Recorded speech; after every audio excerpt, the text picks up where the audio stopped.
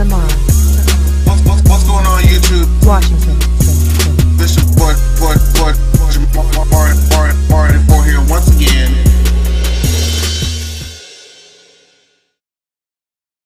Hey, what's going on YouTube? This is your boy Jamar84 here once again. And, you know, I know the review is like really, really late, but uh, a whole lot's been going on, especially over this past weekend, and it's just a lot. But I'm going to try to do the um, this review in conjunction with the Bad Girls from last night as well, so I can go ahead and get these reviews up for you guys so you guys can watch and check them out. Um, hmm.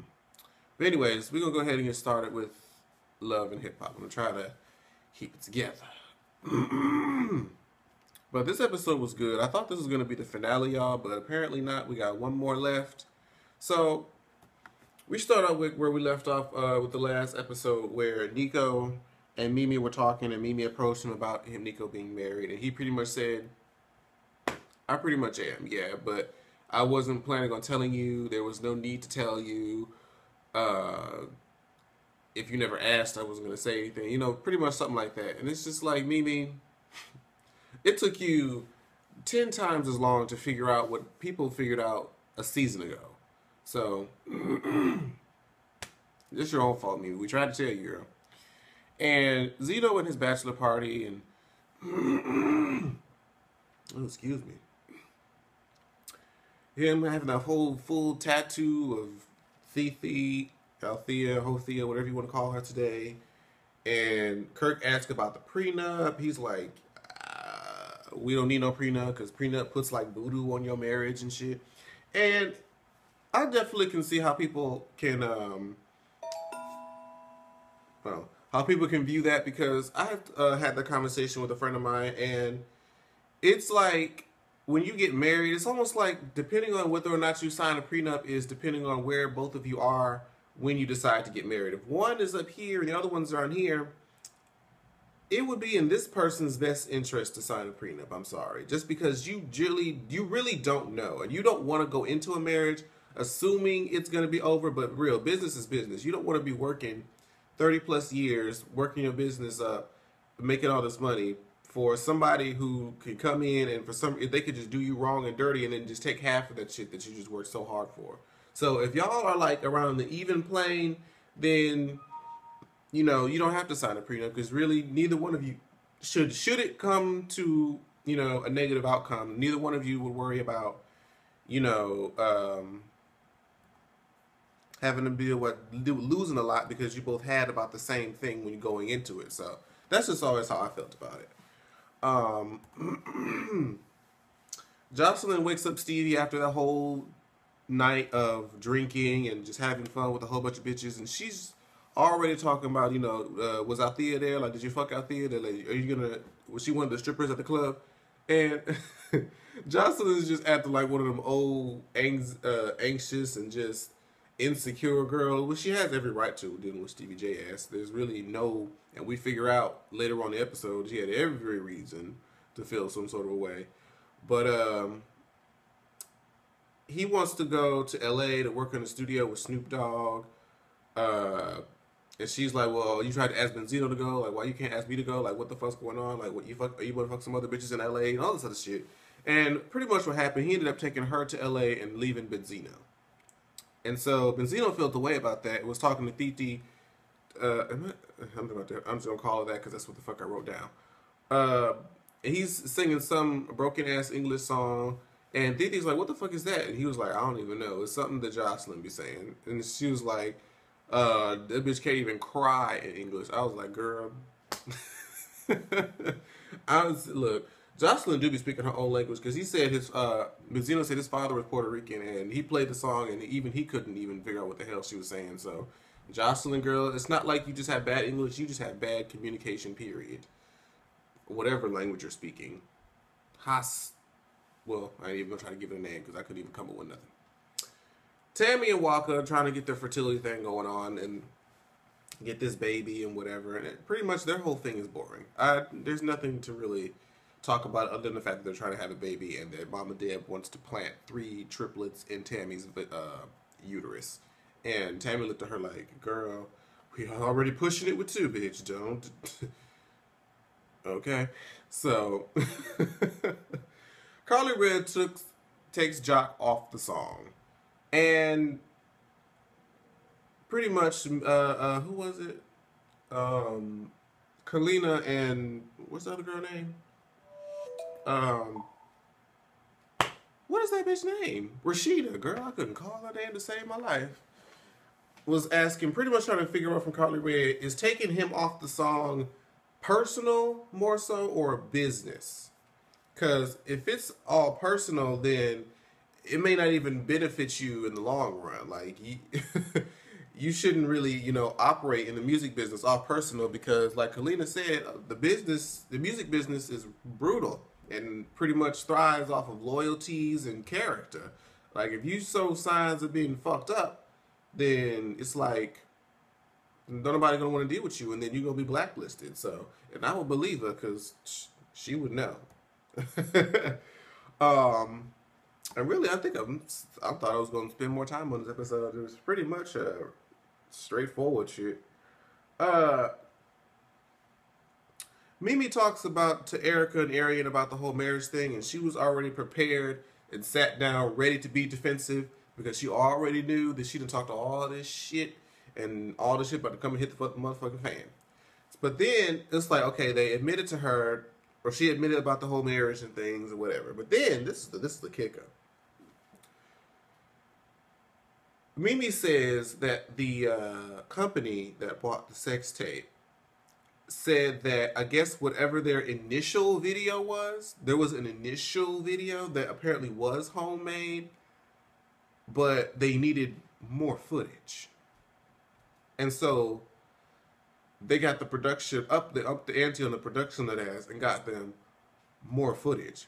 But she was still trying to pass it off as only being one just sex tape that they just randomly decided to do because they're, you know, together this is what couples do and blah blah blah. Child.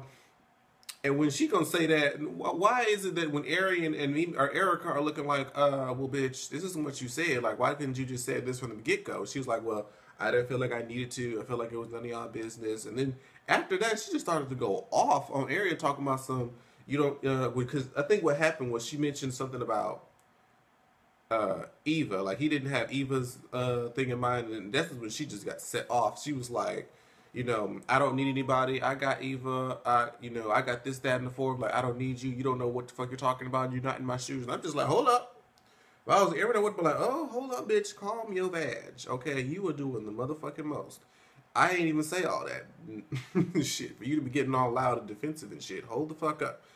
Okay, but you know, Ariane let it slide. But then she tried to storm off and pretend like, oh, they're judging me and shit.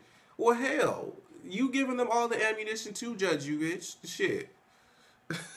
you lied about something stupid. Like, if they was trying to support you and whatever it was that you were doing, and you just told the truth, it would have been different. But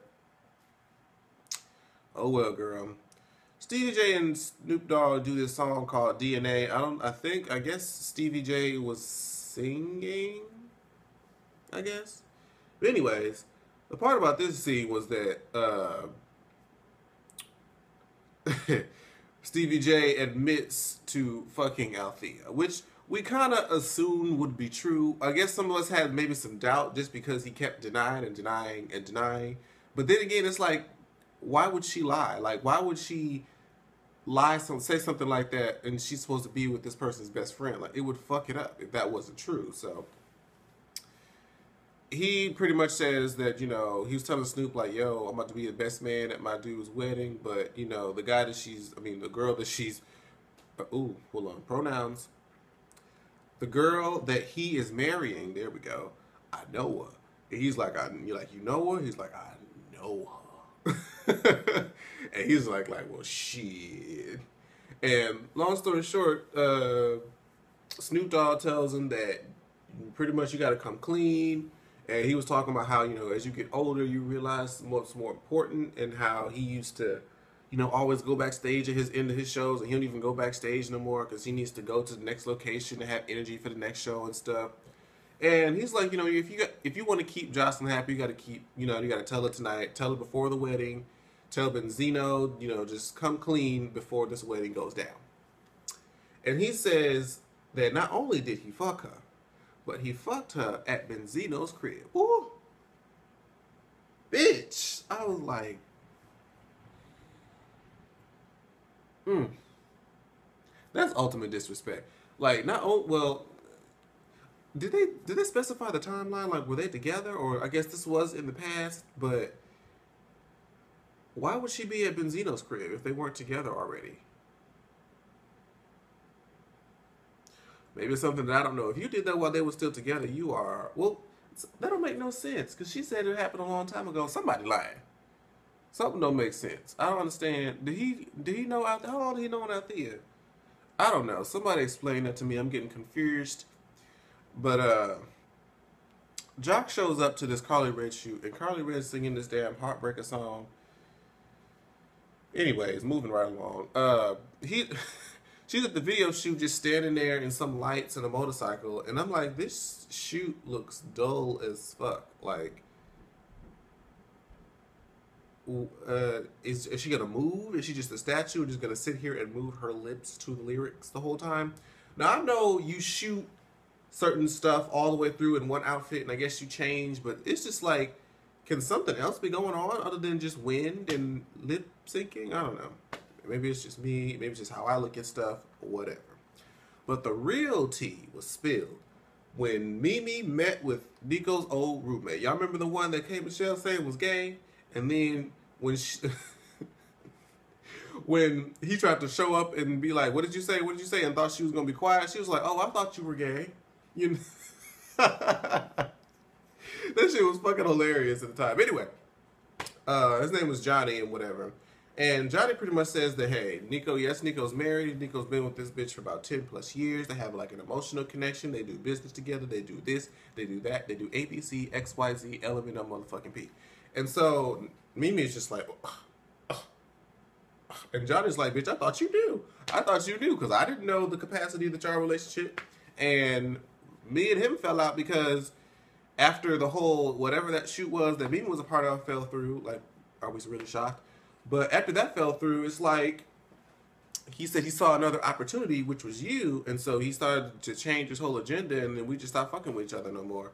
And so now Mimi's like, "Oh, Nikko is my new enemy. I can't believe it's one thing to hear from my girls who don't like Nikko, but it's a whole nother thing when it's somebody who actually knows Nikko." I just the Mimi impressions always get me. If it's not my own, it's somebody else's that I watch that always kill me. But basically, Johnny's like he was trying to say he's gonna try to get her on film, and that there's probably in addition to this tape that we have that's leaked out that she knew was happening. There's probably a slew of other tapes that happened that he got that she was unknowingly being filmed, which are probably like alleged like real sex tapes, but Mimi, you did this for money. I know you tried to say you don't know what's going through. I guess your maid business fell through or whatever, girl, but girl, just I hope you you every season you just done something stupid as far as you know these men is concerned. So whoever it is that you decide to date, if there's a season four, which I'm pretty sure there will be, but whoever it is, I need you to get together because girl, no. But anyways, you guys, thank you guys so much for being patient. Uh, I probably will want to talk about what it is that happened and what's going on in another episode of Dear Diary because of, you know, I'll just have to talk about it then. Uh, Cause yeah, it's it's been it's been fucking with me for days now. So, but yeah, I'm gonna try to go ahead and record uh, Bad Girls Club right after this and try to get these up hopefully by later on tonight so you guys can have it. Uh, but thank you guys so much for being so patient. and I'll see you guys in the Bad Girls Club review. Bye bye. Like, share, subscribe. Washington, Washington, Washington.